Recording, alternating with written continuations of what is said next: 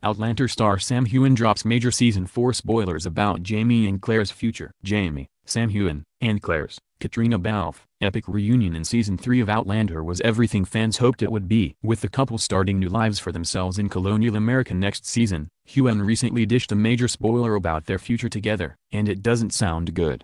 During an appearance on This Morning with Holly Willoughby and Philip Schofield, Heughan opened up about the struggles Jamie and Claire are going to face in America. The Outlander star explained how the season will follow the couple as they establish a new home in America prior to the Revolutionary War. Although the pair will be together to face the new challenges, Heughan admitted that it won't be easy. The course of true love never does run smoothly, it's all fine for a while and then thrown into jeopardy, he teased. Heughan stopped short of saying what will come between Heughan and Jamie but it definitely sounds like they will face some real challenges in America. According to Express, Heughan also revealed that the cast and crew are currently filming the season 4 finale in Scotland. Although the setting is in America next season, the majority of filming took place in and around Glasgow, which Heughan claims looks exactly like North Carolina.